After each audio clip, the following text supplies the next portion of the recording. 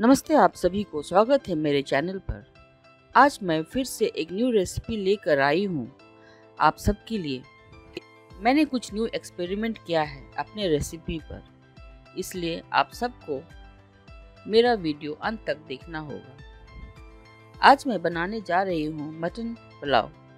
वो भी अपने स्टाइल पर। मैंने लिया है एक केजी मटन और 500 ग्राम बासमती चावल। मैंने मटन को अच्छे से धोकर रख दिया है और चावल को भी मैंने धोकर, भिगोकर 30-40 मिनट के लिए रख दिया है। अब मैं मटन को डायरेक्ट कुकर में कुक करूँगी।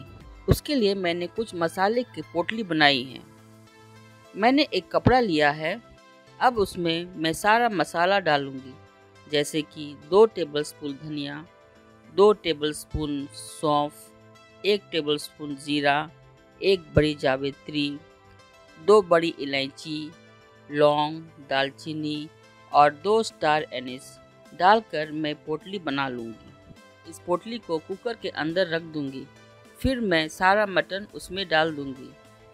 उसके साथ में मैं एक इंच अदरक और छः सात लहसुन के कलियाँ भी डाल दूँगी और उसमें दो गिलास पानी डालकर मैं फिर कुकर को बंद कर कर दूँगी। और मैं उसमें पाँच सीटी तक होने दूँगी। तब तक मैं दूसरे गैस पर चावल के लिए गर्म पानी करूँगी। पानी गर्म होते ही मैं उसमें खड़े मसाले डालूँगी। खड़े मसाले में दालचीनी, लौंग, इलायची, ये सब डालने के बाद मैं उसमें दो चम्मच नमक डालूँगी अपने स्वाद अनुसार। उसके बाद मैं बासमती राइस डालूँगी। चावल डालने के बाद मैं आधा नींबू भी डालूँगी मतलब उसका रस डालूँगी। नींबू का रस डालने से राइस खिला खिला और सफ़ेद दिखता है। अब मेरा चावल रेडी हो चुका है। अब मैं दूसरे जाली वाले बर्तन में उसे निकाल दूँगी और राइस को ठंडा करूँगी। अब मेरा चावल तैयार हो चुका है।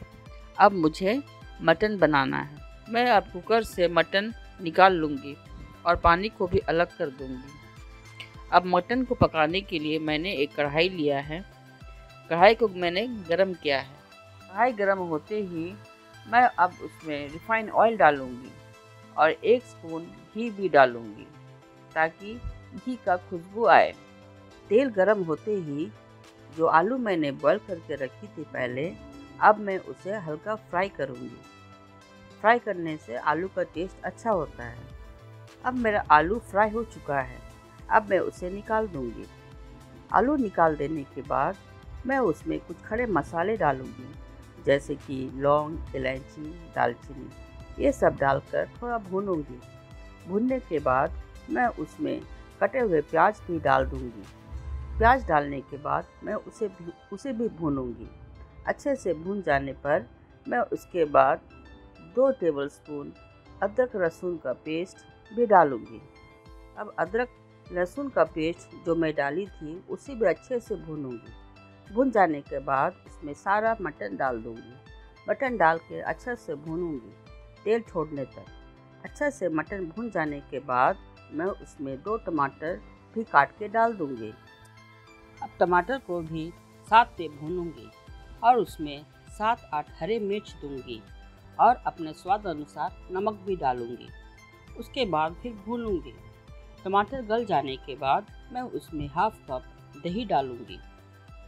दही डालने के बाद मैं उसे अच्छे से भूनूँगी और फिर मैं उसमें धनिया पत्ता भी डालकर भूनूँगी। उसके बाद मैं उसमें दो टेबल स्पून गर्म मसाला डालूँगी और एक टेबल स्पून सफ़ेद गोल मिर्च भी डाल दूँगी और अच्छे से उसे मिला दूँगी। अब मैं सारे मसाले को मिक्स करूँगी।